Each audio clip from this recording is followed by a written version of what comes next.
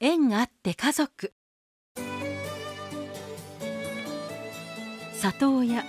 そして教会長夫人として通ってきた吉福妙子さん。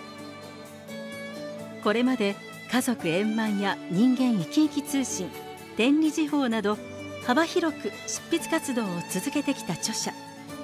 その作品の中から32話を収録しました。誰かが誰かの支えになる。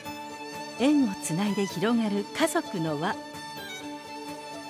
大きな家族のお母さんとして歩むその日常を綴った心温まるエッセイ集。同友者絆新書。縁あって家族。好評発売中です。